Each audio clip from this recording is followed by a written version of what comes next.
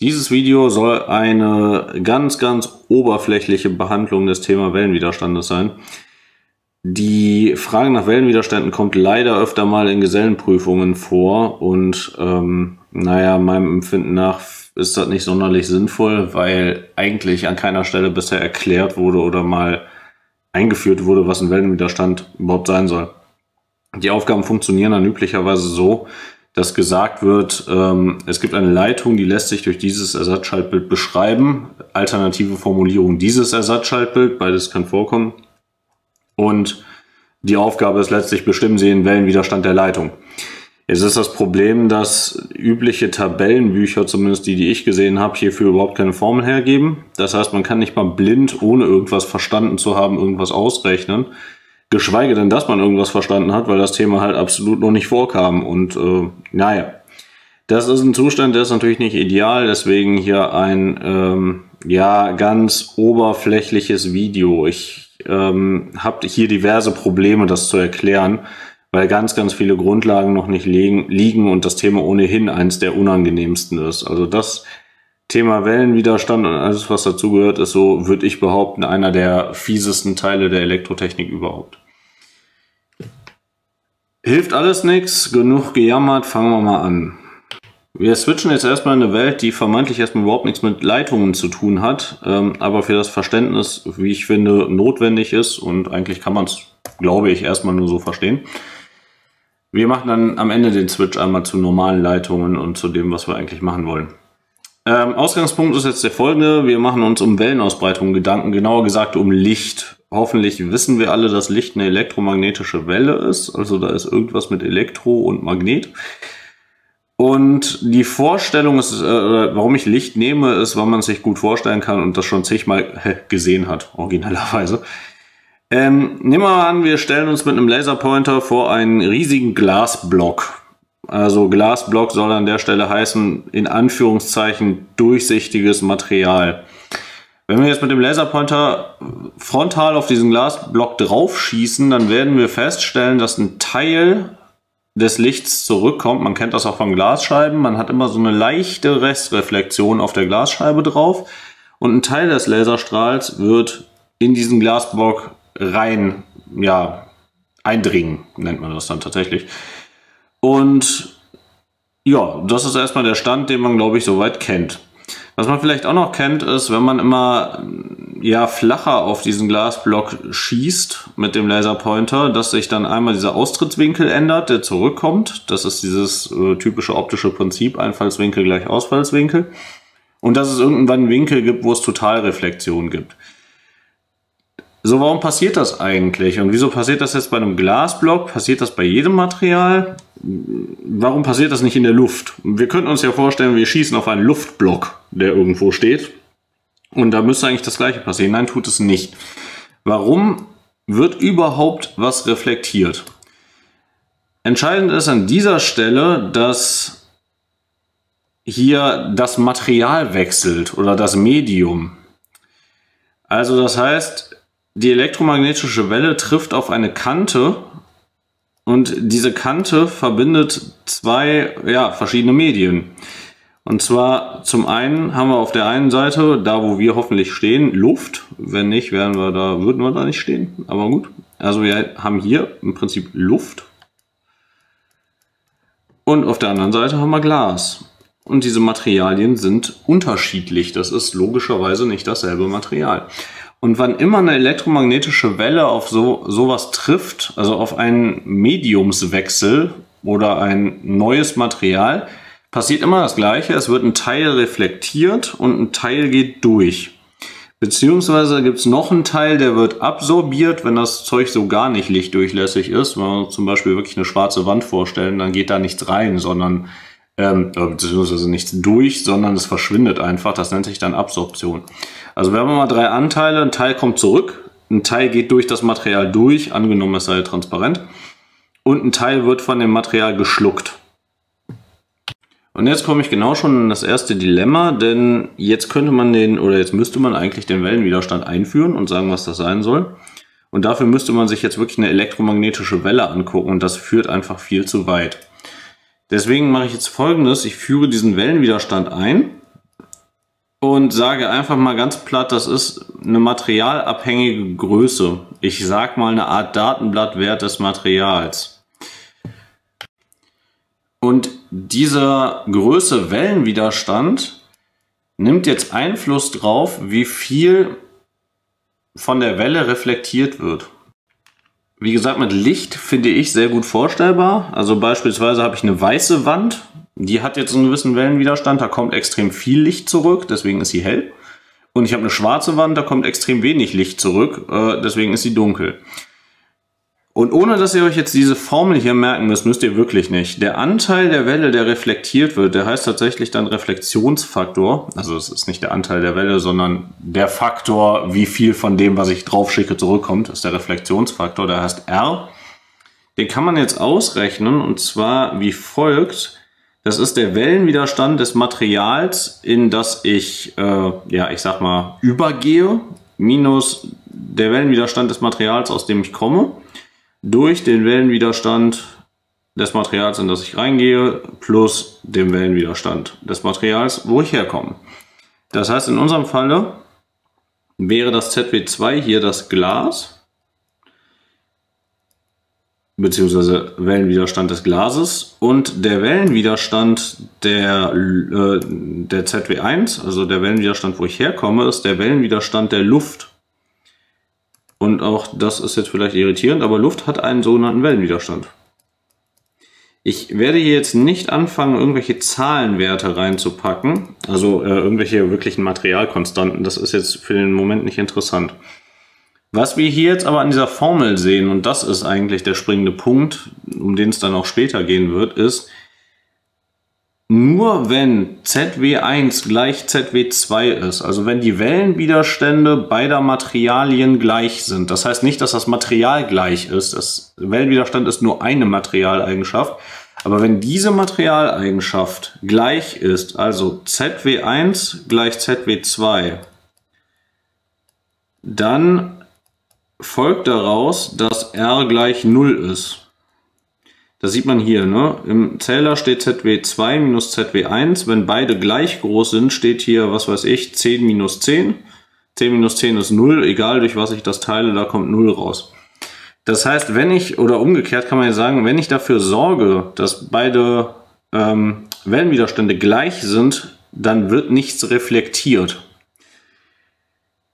Und jetzt sind wir an einem Punkt, also das, das ist der Punkt, der das Ganze überhaupt interessant macht, weshalb wir über sowas überhaupt reden wollen.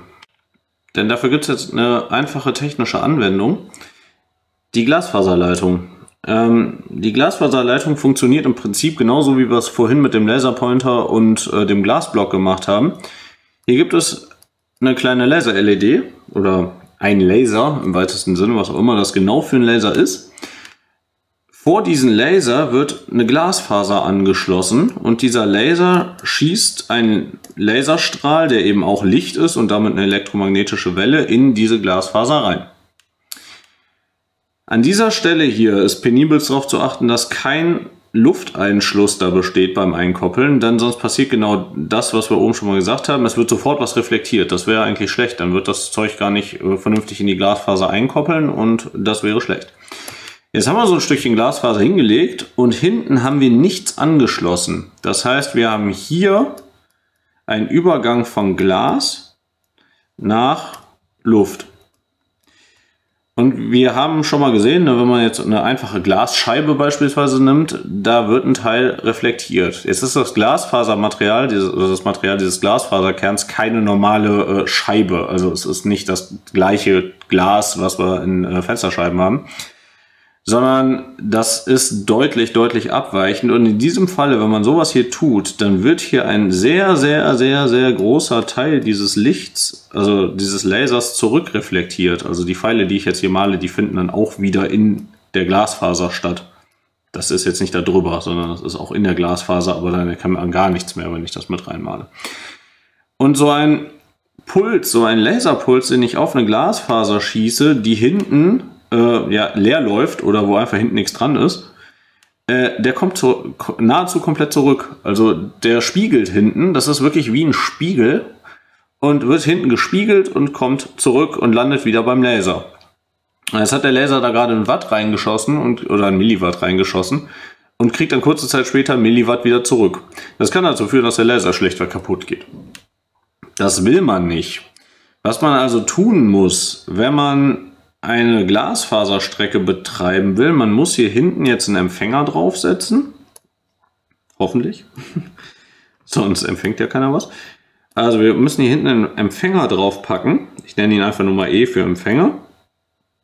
Und dieser Anschluss dieses Empfängers, also dieser Teil hier, der an die Glasfaser angeschlossen wird, der muss einen Wellenwiderstand haben, der gleich dem Wellenwiderstand des Glases ist. Also des Glases des Glasfaserkerns. Wenn die beiden gleich sind, also wenn dieses ZW hier gleich diesem grünen ZW, das mache ich jetzt auch mal grün ist, nennen wir den hier ZW1 und nennen wir den anderen ZW2. Wenn die hier gleich sind oder umgekehrt, die hier sollen gleich sein, dann geht kein Lichtimpuls zurück. Der Laser vorne wird nicht beschädigt und alles ist gut. Das ist also das Ziel. Das Ziel ist, dafür zu sorgen, dass beide Wellenwiderstände gleich sind. In dem Falle funktioniert überhaupt erstmal Glasfaserübertragungsstrecke, sonst würde die schon gar nicht gehen.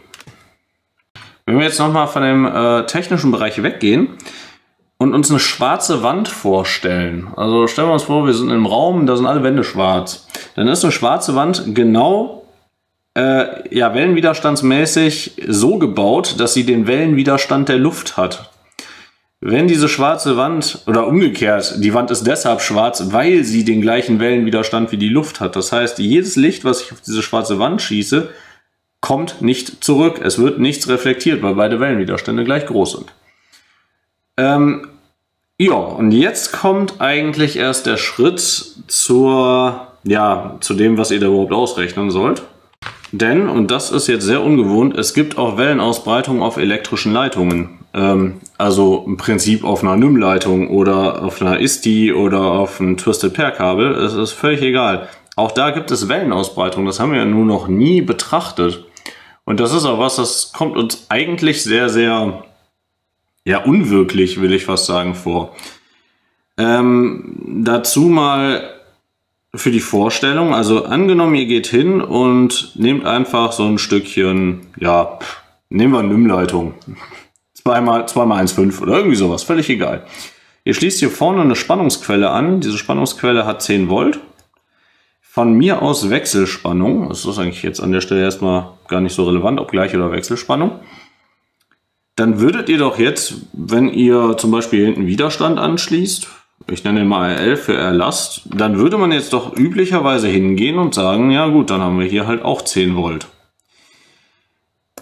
Wenn ich ein bisschen genauer hingucke und sage, es ist Wechselspannung und würde sagen, hier ist eine sinusförmige Spannung, dann würde ich auch hier hingehen und sagen, es ist eine sinusförmige Spannung. Das heißt, diese Spannungen würden irgendwie gleich aussehen. Man kann jetzt darüber diskutieren, ob hier ein gewisser Widerstand noch drin ist, sodass die Spannung hier hinten etwas kleiner ist. Das, das kennt man auch noch, das ist der Spannungsfall auf Leitungen. Aber so vom Grundkonzept her würde man das hier annehmen. Und jetzt machen wir mal ein Gedankenexperiment. Wir gehen nämlich mal hin und sagen, wir haben verdammt gutes, leitfähiges Material. Also dieser Widerstand, der hier drin sitzt, interessiert uns jetzt erstmal nicht. Und wir machen diese Leitung einfach mal ewig lang. Also so wirklich lang. So wirklich, wirklich lang, dass die, was weiß ich, äh, von hier bis äh, einmal um die Welt geht. Wenn ich jetzt hier vorne dann einen Schalter einbaue, und habe hier jetzt meine 10 Volt liegen und ich lege diesen Schalter um, habe ich dann exakt am Ende dieser ewig langen Leitung zum gleichen Zeitpunkt diese 10 Volt? Das kann eigentlich nicht sein. Denn das weiß man vielleicht noch, ist letztlich Einstein und Relativitätstheorie oder die Basis der Relativitätstheorie. Es kann sich nichts auf, in dieser Welt schneller ausbreiten als Licht. Lichtgeschwindigkeit genau gesagt Lichtgeschwindigkeit im Vakuum, ist ein Geschwindigkeitsmaximum für jeden physikalischen Prozess. So auch für eine Spannung. Das heißt, zwischen hier 10 Volt gerade eingeschaltet und hier hinten 10 Volt angekommen, da muss eine Zeit vergehen. Das merkt man allerdings nicht in der normalen Welt, sage ich jetzt mal, deshalb, weil die Leitungen so kurz sind. Ähm, es sei an der Stelle verraten, dass sich so ein Puls auf der Leitung mit ungefähr Pi mal Daumen zwei Drittel Lichtgeschwindigkeit äh, ausbreitet. Das heißt, wenn ich ein paar Meter Leitung habe, dann merke ich davon absolut gar nichts. Und weil ich davon absolut nichts merke, vernachlässige ich das auch und kann mit U gleich R mal I und äh, sowas Leitungen behandeln ohne Probleme. Das Blöde ist aber, wenn die Leitungen länger werden. Das ist die eine Variante. Oder wenn die Frequenz höher wird, der Schwingung. Das ist die andere Variante. Dann wird das plötzlich relevant. Und dann haben wir wirklich den Effekt, dass angenommen, wir würden diesen Schalter hier an und aus machen. Also hier würde mal kurz eine Spannung auftauchen und dann wieder nicht. Also das wäre jetzt hier Schalter an, das wäre Schalter aus. Dass sich über die Zeit dieser Puls über die Leitung bewegt. Das kann man wirklich messen. Also man kann theoretisch wirklich hingehen und sich mitten auf die Leitung stellen und mal äh, einen Multimeter dran halten. Es geht jetzt nicht mit Multimeter, weil das ist zu langsam. Aber man kann wirklich feststellen oder man kann geradezu messen und sehen, wie dieser Puls diese Leitung lang läuft. Das ist Wellenausbreitung auf elektrischen Leitungen. Es verhält sich wirklich eins, äh, im Grunde genommen verhält es sich genauso wie äh, Licht auf einer Glasfaser. Auch da ist uns klar, dass dieser Lichtimpuls sich auf der Glasfaser ausbreitet. Und hier ist es jetzt eben ein Spannungsimpuls. Und jetzt passiert was Lustiges, nämlich jetzt gibt es hier auch Reflexion. Denn das, was sich hier gerade auf der Leitung ausbreitet, ist ebenfalls eine elektromagnetische Welle.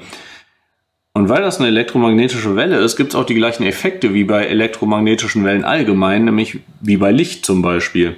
Und auch hier passiert folgendes, dieser Puls wandert bis ans Ende der Leitung und da ich von da aus jetzt, sage ich mal, auf den Lastwiderstand gehe, wechsle ich quasi das Material. Dadurch, dass ich das Material wechsle, wird aber ein Teil dieses Impulses, wie viel oder wenig, hängt jetzt wieder vom Material ab, zurückreflektiert und wandert zurück zur Quelle. Auch das kann ich ähm, auf elektrischen Leitungen durchaus nachvollziehen. Das kann ich sogar nutzen für die Leute, die vielleicht irgendwie in Langstreckentelefonie oder so oder Datenübertragung unterwegs sind. Die kennen vielleicht Reflektometer, die nutzen diesen Effekt genau aus. Damit kann ich nämlich Störungen auf Leitungen finden. Also angenommen, hier hat mal Karl-Heinz mit der Axt reingehauen dann hätte ich hier plötzlich vielleicht einen Kurzschluss. Ich würde also hier quasi gewissermaßen das Material ändern. Damit kommt der Puls schneller zurück. Aus der Zeit, die das Ganze braucht, kann ich letztlich äh, sagen, wo diese Störung ist. Also es gibt ganze Messverfahren, die basieren darauf und wirklich praktische Anwendungen auch dafür. Ja, und naja, da das jetzt so ist, also ein Teil der Spannung wird reflektiert kann man sich jetzt wieder fragen, naja gut, gibt es hier auch sowas wie Wellenwiderstand? Und tatsächlich gibt es den. Und auch hier ja, legt man jetzt einen Reflexionsfaktor fest und sagt, wie viel von der Spannung kommt wieder zurück. Und dieser Reflexionsfaktor lässt sich jetzt witzigerweise genauso ausrechnen wie vorher, nämlich indem ich sage, das ist der Wellenwiderstand, den ich hinten an die Leitung anschließe, nennen wir ihn ZW2, minus den Wellenwiderstand der Leitung selbst. Wir erinnern uns vielleicht noch, ähm, nennen wir ihn hier nicht ZW2, nennen wir ihn vielleicht ZWL für Wellenwiderstand der Last oder so. so. Wir erinnern uns vielleicht, dass wir das vorhin auch gemacht haben, nämlich hier war es ZW der Luft.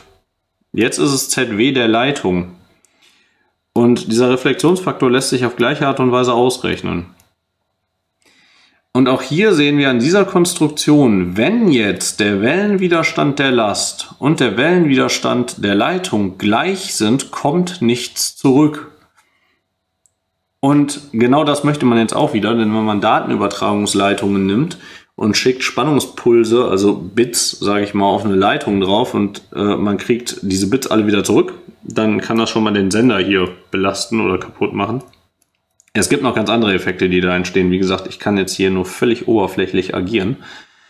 Ähm, aber meistens möchte man das in der Datenübertragung nicht. Man möchte keine Reflexionen haben. Und jetzt kommt noch eine Sache, die ist sehr schön, denn die Frage ist ja jetzt vielleicht, naja, wie, ist, wie groß ist denn der Wellenwiderstand einer Last? Naja, wenn ich da jetzt einen Lastwiderstand RL anhänge, dann ist das in diesem Fall genau RL. Das heißt, Wie viel von meiner Spannung hinten an der Leitung reflektiert wird, hängt im Wesentlichen davon ab, wie groß ich den Lastwiderstand wähle. Das Ganze lässt sich in Formel so gießen. Wie gesagt, die Formel könnt ihr hier hinterher wieder vergessen. Aber der Gag ist jetzt folgender. Wenn ich den Lastwiderstand gleich den Wellenwiderstand der Leitung wähle, kommt nichts zurück. Wähle also den Abschlusswiderstand gleich dem Wellenwiderstand der Leitung, dann hast du keine Reflexion. Und das ist meistens der Sollzustand, den wir üblicherweise in der Datenübertragung haben wollen. Jetzt muss man hier eigentlich auch kein Riesenfass aufmachen. Insofern wundert mich das auch immer, dass das in den Gesellenprüfungen vorkommt, denn das ist einfach durchgenormt. Man kommt eigentlich in der Praxis, so wie ich das jetzt spontan sehen würde, selten überhaupt damit in Kontakt. Also man findet manchmal in Datenblättern so Angaben für Wellenwiderstand, ja okay. Aber wenn ich zum Beispiel hingehe und kaufe ein Twisted Pair Kabel, was ich für Ethernet oder für, für Netzwerktechnik allgemein benutzen möchte, dann ist das genormt. Dann hat dieses, egal ob das Cat 5, Cat 4, Cat 6, Cat 7 ist, dann hat das einen gewissen Wellenwiderstand. Ich kenne ihn nicht mal auswendig, ehrlich gesagt, müsste um die 100 oben irgendwo liegen. Und alle meine Empfänger, also alle Netzwerkinterfaces, Router, Switches, Netzwerkkarten, völlig egal, die sind alle auf diesen Wellenwiderstand schon genormt. Das heißt, es gibt eine ganze Klasse von Leitungen, eben Cat irgendwas Leitung, die sind alle die haben alle den gleichen Wellenwiderstand oder ungefähr den gleichen Wellenwiderstand. Damit sind auch alle Geräte drumherum, die man da anschließen kann, sowieso schon so durchgenormt, dass man sich darum einfach keine Gedanken machen muss. Deswegen wundert mich das gerade, dass das eben in solchen praktischen, also ich sag mal praxisorientierten Prüfungen überhaupt vorkommt. Gut, jetzt haben wir gesehen, Wellenwiderstand, was ist das oder warum interessiert der uns überhaupt und was ist eigentlich unser Ziel? Und jetzt kommt noch eine Sache, die ja das letzte Vorgeplänkel ist, bevor wir dann wirklich zum Rechnen kommen können und zum Ausrechnen kommen können, nämlich wenn ich nochmal überlege, ich habe eine Leitung, man symbolisiert, wenn diese ganze Geschichte mit Wellenwiderstand der Leitung relevant wird, eine Leitung übrigens sehr gerne mal so. Also wenn ihr sowas mal seht, dann ist das hier eine Leitung, die nicht vernachlässigbar kurz ist und wo dieses ganze Thema, was wir hier gerade überhaupt beackern, irgendeinen Sinn ergibt. Nehmen wir an, wir haben eine Leitung mit einem gewissen Wellenwiderstand. Und jetzt haben wir ja gesagt, jetzt wollen wir hingehen und hinten als Last oder als Empfänger oder was auch immer man da jetzt hinten anschließt, wollen wir dafür sorgen, dass auch hier ein Lastwiderstand angeschlossen wird, der gleich ZW ist. In diesem Falle hätten wir Reflexionsfreiheit, Spannungsimpulse, die wir hier reinschicken, kommen nicht wieder zurück. Die letzte Frage, die man sich jetzt stellt, wenn ich das so tue, was messe ich denn dann hier vorne eigentlich für eine Impedanz oder für einen Widerstand? Und jetzt könnte man einen Fehler machen, und das ist auch das Gefährliche an dem Begriff Wellenwiderstand. Man könnte jetzt irgendwie auf die Idee kommen, naja gut, das ist ZW der Leitung, das ist ja sowas hier wie eine Reihenschaltung, plus ZW hinten, also ich hätte zweimal ZW und das ist gerade nicht so. Man muss hier höllisch aufpassen. Der Wellenwiderstand ist kein Widerstand im ohmschen Sinne. Ich kann auch einen Wellenwiderstand nicht mit einem Multimeter messen oder sowas. Das ist auch nicht U durch I im engeren Sinne. Das ist eben eine Größe, die die Wellenausbreitung auf der Leitung irgendwie beschreibt. Also bitte jetzt nicht hier auf die Idee kommen zu sagen, naja, ich messe hier vorne rein 2 ZW. Nee, tut man nicht. Und das ist jetzt eine Wahrheit, die vom Himmel fällt. Ich glaube nicht, dass ich die, nee, die kann ich nicht mal eben so didaktisch, also nee, nicht so reduziert, dass man das jetzt mal eben verstehen kann, erklären. Das führt viel zu weit. Ähm, das Interessante ist jetzt folgendes, und das ist eigentlich der, der springende Punkt. Man misst hier vorne, also wenn man jetzt hier vorne die Impedanz messen würde, misst man hier tatsächlich einmal ZW, nicht zweimal ZW. Also man kommt, wie gesagt, auf die Idee zu sagen, das ist ZW plus ZW, also 2 ZW. Nein, tut man nicht. Man misst hier nur das ZW dieses Lastwiderstandes.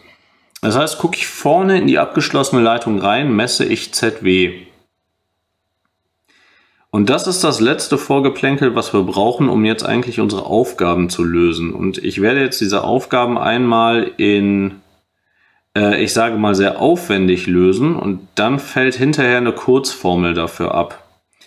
Also nochmal zusammengefasst, wenn ich hinten an eine Leitung oder ein, man sagt, eine Leitung mit dem Wellenwiderstand abschließe. Das ist eigentlich die korrekte Formulierung. Will sagen, ich schließe einen Lastwiderstand an, der dem Wellenwiderstand der Leitung entspricht. Wenn ich, an, wenn ich eine Leitung mit dem Wellenwiderstand abschließe, dann sehe ich vorne als Impedanz oder als Widerstand den Wellenwiderstand der Leitung. Das ist gerade jetzt die Kernaussage und genau so begeben wir uns jetzt gleich in die Rechnerei. Und die Gesellenprüfungsaufgabe, sie tut jetzt so, und das geht tatsächlich in der Praxis, das tut man üblicherweise oder das tut man häufig, die tut jetzt so, dass man eine Leitung durch so ein Ersatzschaltbild darstellen kann. Das nennt sich übrigens Pi-Ersatzschaltbild, deshalb, weil man hier, wenn man sehr viel guten Willen hat, irgendwie ein Pi erkennen kann. Das andere, das wäre dann äh, Aufgabentyp B, das wäre diese Variante hier, das nennt sich dann T-Ersatzschaltbild. Äh, das sind so allgemeine Grundkonstrukte, das ist so ein bisschen wie Reihenschaltung und Parallelschaltung. Das sind so Grundbausteine von Schaltungen, mit denen man ja vieles erfassen kann. Auf jeden Fall äh, geht die Aufgabe hin und fragt, wie groß ist denn ZW dieser Leitung? Meistens ist es so gestrickt oder in den GPs ist es so gestrickt, dass alle Widerstände den gleichen Wert haben. Das muss nicht so sein. Das Einzige, was tatsächlich immer so sein muss, ist R1 ist gleich R3, also der hier ist gleich dem, weil das Ganze symmetrisch sein muss. Wenn ich die Leitung quasi nur einmal rumdrehe, darf sich nichts ändern. Wenn ich die Leitung aber rumdrehe, würden die hier die Position tauschen Entsprechend müssen sie gleich groß sein. Ja, ähm, wie gehen wir jetzt da dran? Wir gehen jetzt mit dem dran, was wir hier oben äh, angenommen und gesagt haben. Also ich kann nicht sagen gezeigt haben, weil das haben wir nicht gezeigt, das musstet ihr mir jetzt glauben, aber das ist der Ausgangspunkt für die weiteren Betrachtungen. Und zwar, wenn ich diese Leitung, die ich offensichtlich so beschreiben kann, mit ZW abschließe, das heißt, wenn ich an diese Leitung hier ZW anschließe, einen Wellenwiderstand, den ich wohlgemerkt noch nicht kenne, ich tue jetzt so, als würde ich ihn kennen, aber ich kenne ihn eigentlich gar nicht, dann sehe ich vorne oder messe ich vorne die Impedanz ZW. Und dieses Schaltungsszenario ist jetzt genau das, was wir zum Rechnen benutzen. Also, wir tun jetzt so, oder wir gehen jetzt hin und sagen, wir schließen hinten den richtigen Wellenwiderstand an. Wert kennen wir nicht. Aber wenn wir das tun, dann messen wir vorne ZW. Und das ist jetzt der Ansatz für unsere Berechnungen. Man geht jetzt nämlich hin und sagt, ZW ist gleich, also der Wellenwiderstand hier vorne ist gleich. Und jetzt können wir hier ganz normal den Widerstand dieser Schaltung ausrechnen. Und in dieser Berechnung dieses Widerstandes dieser Schaltung taucht jetzt wieder ZW auf und wir müssen hinterher hingehen und das Ganze nach ZW umformen. Naja, und jetzt müssen wir eben äh, ja, den, die äh, Impedanz oder den Widerstand dieser Schaltung ausrechnen. Das machen wir jetzt quasi äh, ja, straightforward. Also wir gehen hin und sagen, naja, hier hinten ist eine Parallelschaltung, die fasse ich erstmal zusammen. Also ich nenne das Ding hier jetzt mal R3ZW oder so ein bisschen komisch die Bezeichnung, aber gewusst, was gemeint ist. Das ist die Parallelschaltung und R3ZW ist nichts anderes als, naja, parallel geschaltet halt. Ne? ZW mal R3. Ich mache es einfarbig. Keine Lust, jetzt die ganze Zeit Farben zu wechseln. Also ZW mal R3 geteilt durch ZW plus R3. Das ist diese Parallelschaltung da hinten. Diese Parallelschaltung liegt jetzt in Reihe zu R2.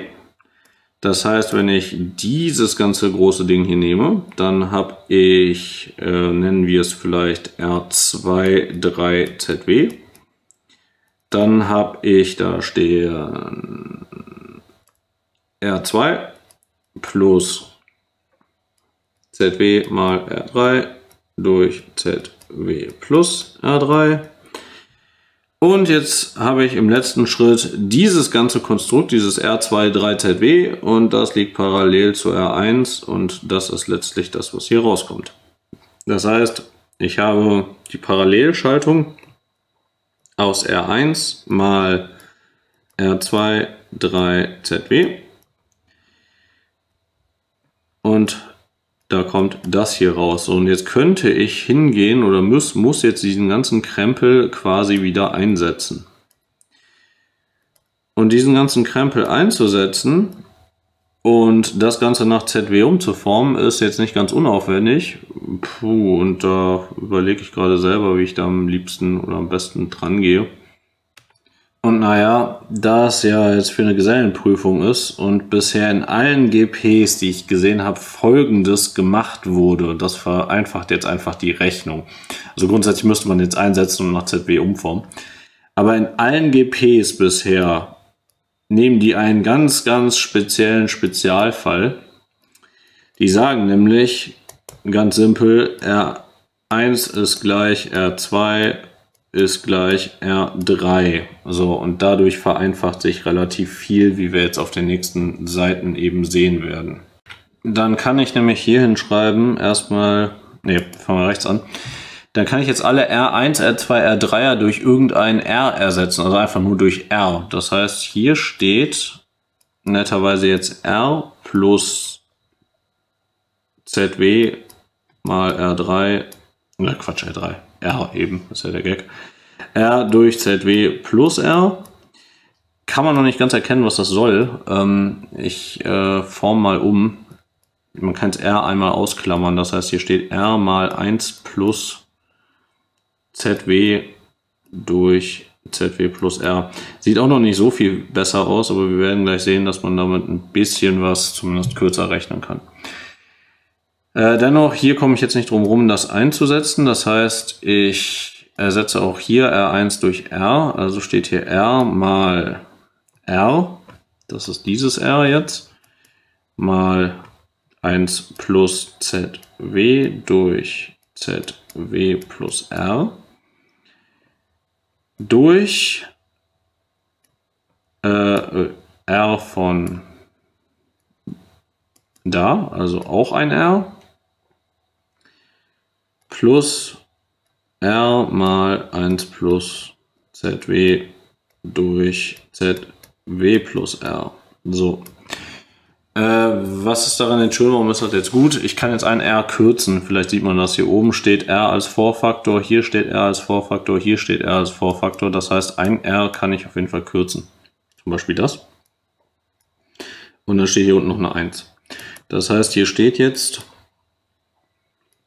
R mal 1 plus ZW durch ZW plus R durch R1 plus, ja, das macht die Sache ein bisschen schöner.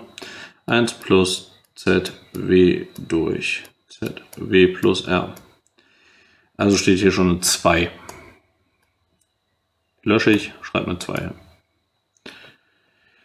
So, Soweit, so gut. Äh, an Einheiten erkennen wir auch, dass das gerade momentan passt. Ne? Also hier soll ZW rauskommen, hat die Einheit Ohm. Hier steht die Einheit Ohm und die Dinger hier haben alle keine Einheit. Dementsprechend scheint es schon mal irgendwie halbwegs aufzugehen.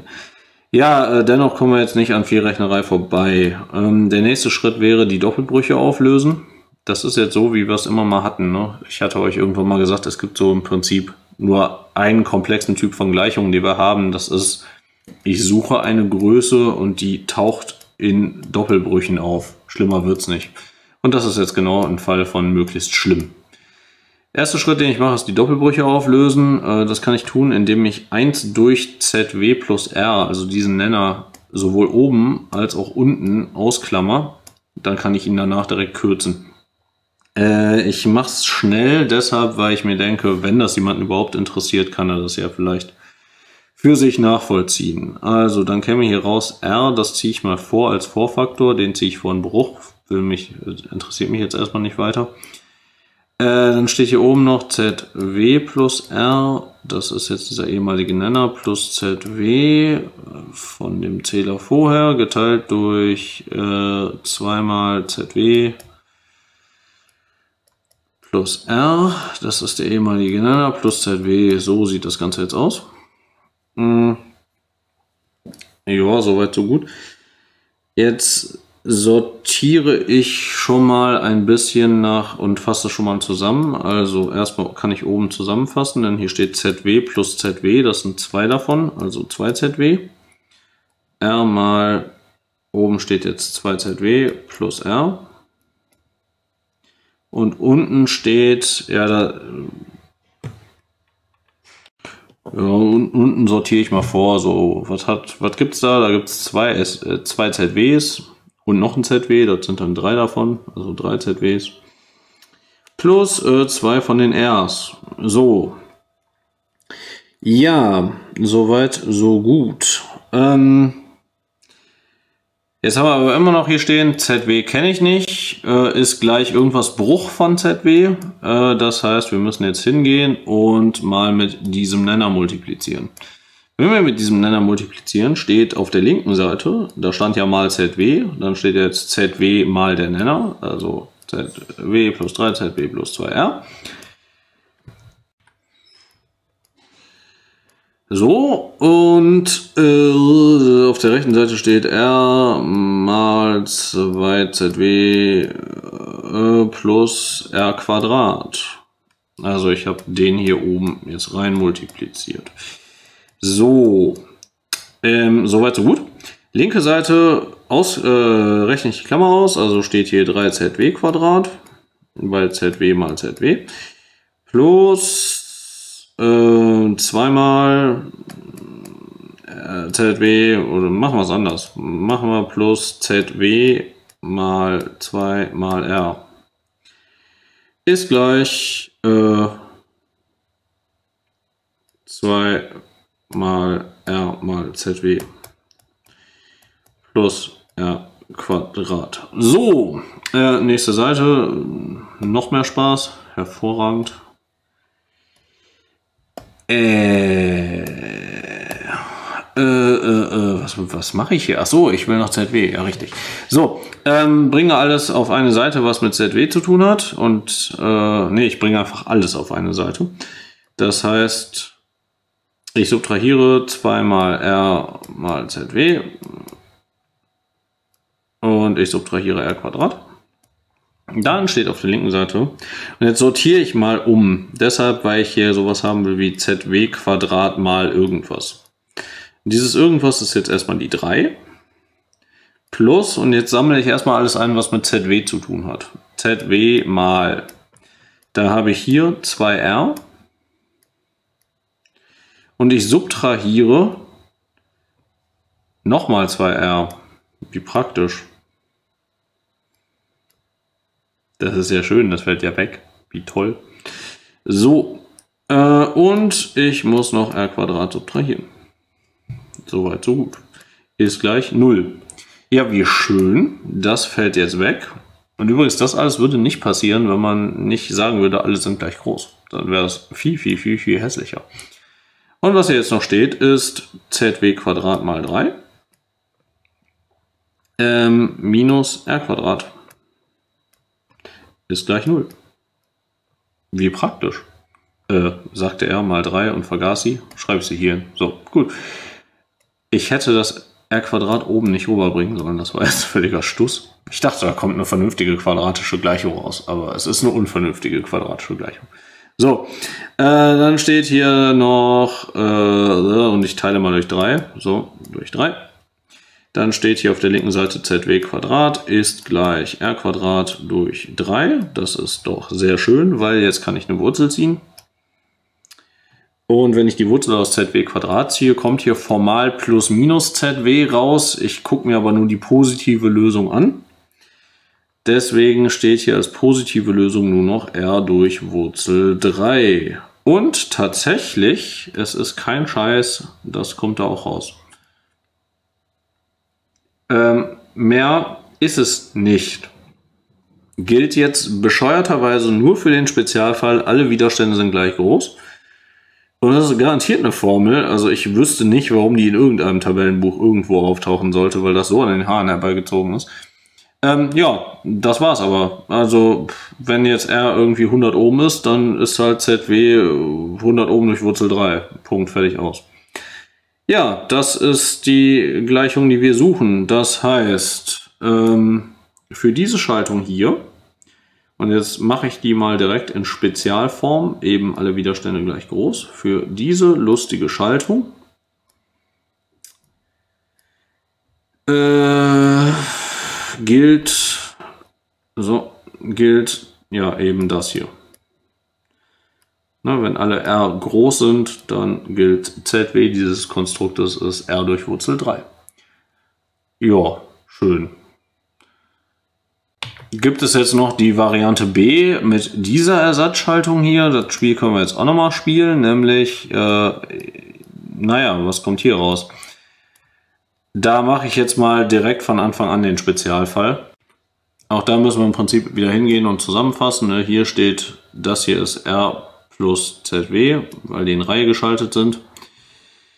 Diese ganze Kiste hier wird parallel geschaltet zu einem R. Das heißt, das ist dann R mal R plus ZW, also nochmal vom lilanen. Ich denke, was ich hier hinschreibe, ist irgendwie nachvollziehbar. R plus ZW durch den. So, das ist der orange Part. Und jetzt der grüne, da kommt noch ein R dazu.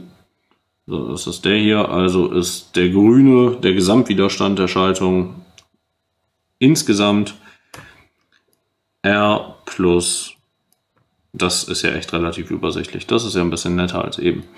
Also steht hier R plus R mal R plus ZW oben und unten steht äh, R plus R plus ZW. Das ist unsere Gesamtschaltung. Hm. Auch da sehen wir jetzt dadurch, dass die Rs, also ich mache jetzt nur den Spezialfall, ne? denn was anderes wird eh nicht gefragt.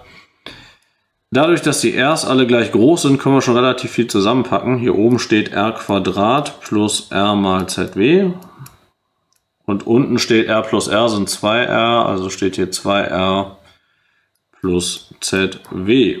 So, und das ganze Ding ist gleich zw. Und jetzt haben wir wieder das gleiche Spiel. R kennen wir, ZW suchen wir. Also, was machen wir? Wir ja, müssen den Bruch loswerden. Also multiplizieren wir wieder mit dem Nenner und multiplizieren mit 2R plus ZW. Dadurch steht links ZW von vorher mal 2R plus ZW, was wir jetzt eben hinmultipliziert haben, ist gleich jetzt den hier nicht vergessen. R mal diese Klammer. R mal 2R plus ZW, Himmelherr Gott nochmal.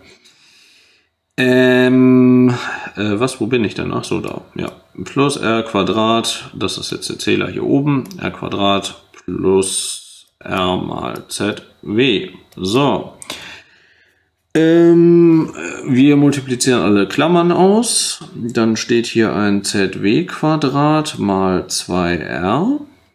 Das ist die linke Seite. Ne, ich habe hier irgendwas. Ne, hier muss ein Plus stehen. So.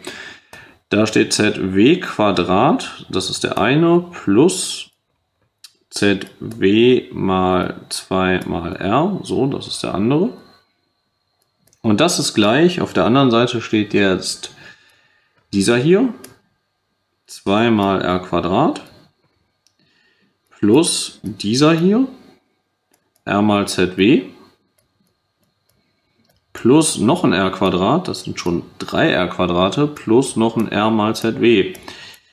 Das heißt, äh, links steht, naja, müssen wir erstmal so stehen lassen, plus zw mal 2 mal r ist gleich so 2r Quadrate, noch ein r Quadrat dazu, sind 3r Quadrate. Ein RZW, noch ein RZW sind 2 RZW.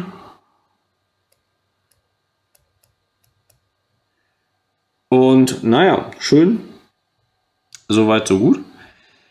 Jetzt sieht man vielleicht, dass hier zweimal R mal ZW addiert wird und hier auch. Das heißt, ich könnte das jetzt einmal subtrahieren, dann verschwindet es auf beiden Seiten. Und dann bin ich schon fast fertig. Denn jetzt steht hier links nur noch zw Quadrat ist gleich 3r Quadrat. Wie schön. Ja, ich will zw haben, also ziehe ich eine Wurzel. Also steht hier zw ist gleich Wurzel 3 mal r. Zack, fertig. Äh, das ist jetzt die Formel für diese lustige Schaltung hier. wenn wohlgemerkt wieder alle Widerstände gleich groß sind. Ja, soweit so gut. Das ist an sich im Ergebnis ja jetzt gar nicht schlimm, aber mh, hm, ich sag mal so, wenn man das jetzt nicht kennt und wenn man jetzt nicht so gut rechnen und umformen kann, dann halte ich das für eine sehr sportliche Aufgabe. Ähm, auf jeden Fall habt ihr jetzt für diese beiden Fälle die Fertigformeln, verwechselt sie nicht. Ne? Einmal steht hier Wurzel 3 mal r und im anderen Falle steht hier r durch Wurzel 3. Also hier ist das ZW kleiner als r. Und unten ist das ZW größer als r. Ne? Einmal Faktor Wurzel 3 größer, das andere mal um den Faktor 1 durch Wurzel 3. Äh, hier kann man das, man kann sich das aber merken. Denn hier liegt ein R in Reihe. Wenn hier R schon in Reihe liegt, kann das Ergebnis nicht kleiner als R werden. Damit muss die Variante mal Wurzel 3 zu dieser Schaltung gehören. Also falls man da jetzt irgendwie in der Prüfung sitzt und nicht mehr weiß, was wozu gehört. Einfach mal kurz überlegen, hier liegt R noch in Reihe. Das Ergebnis muss größer sein als R. Ja, soweit so gut. Viel Rechnerei, viel Nonsens, äh, zwei Formeln. Und jetzt kommt das Interessante, also ich fasse das nochmal ganz kurz hier zusammen, für die Leute, die jetzt alles geskippt haben, wie ich finde, völlig zu Recht. Hm. Die eine Variante war, ich kann so ZW ausrechnen, das war für die Pi-Ersatzschaltung, wie sie dann heißt, also für diese hier. Und ähm, ich kann ZW ausrechnen mit dieser Formel hier, Wurzel 3 mal R, wenn es um die sogenannte T-Ersatzschaltung geht. Auch soweit so gut. Ähm, sieht aus wie eine Brille und eine Nase. Na egal. Ähm, R, R, R. R, R, R. Auch soweit so gut.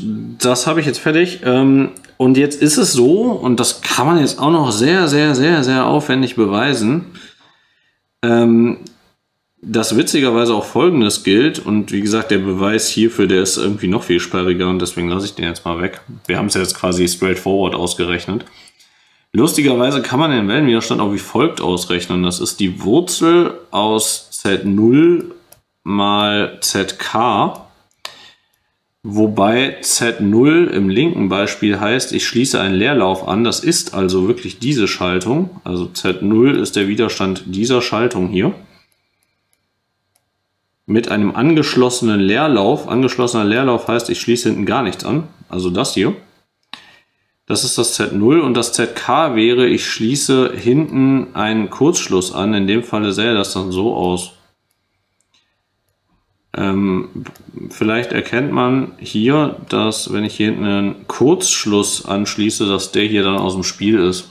Und was hier rauskommt, sind einfach die beiden parallel. Da ist ZK relativ simpel. Ähm, ja, die kann ich jetzt beide ausrechnen, kann sie dann multiplizieren und die Wurzel rausziehen und witzigerweise kommt dann das hier raus. Das kann man ja nochmal zur Übung machen. Und im anderen Falle hier sähe das Ganze jetzt so aus, das Z0 wäre wieder angeschlossener Leerlauf. Das heißt, da ist die Variante jetzt sehr einfach, denn wenn ich hier hinten einen Leerlauf anschließe, dann fließt hier kein Strom. Wenn aber kein Strom fließt, ist es auch völlig egal, dass dieser Widerstand hier existiert und ich kann den quasi killen. Was ich dann habe, ist einfach nur noch R plus R, also 2R für Z0. Soweit, so gut. Und das ZK sähe in dem Fall jetzt wiederum komplizierter aus. Das wäre halt dieser hier. Ähm, Widerstand und hier hinten jetzt eben kurz geschlossen. Äh, in dem T-Ersatzschaltbild ist halt der ZK-Fall der komplizierte und der Z0-Fall der einfache. In diesem Pi-Ersatzschaltbild hier ist der Z0 der kompliziertere und der ZK der einfachere. Äh, beide kann man jetzt für sich genommen ausrechnen, in diese Formel hier einsetzen. Die gilt wie gesagt für beide Fälle. Deswegen mache ich hier die, diesen Strich mal weg. Ähm, gilt für beide Fälle, kann man jetzt universal für beide Varianten nutzen. Muss man allerdings wieder ein bisschen rechnen. Wenn man jetzt so gar nicht rechnen will, merkt man sich jetzt diese beiden Fertigformeln hier, nach denen euch nie mehr irgendwann jemand fragt, die man wirklich niemals braucht. Und könnt direkt ausrechnen. Nachdem ich jetzt Kopfschmerzen habe, hoffe ich, dass euch das jetzt irgendwie hilft. Ich traue mich fast nicht, diesen Schrott hier auf YouTube sichtbar zu machen, aber egal. Ja, schönen Abend noch.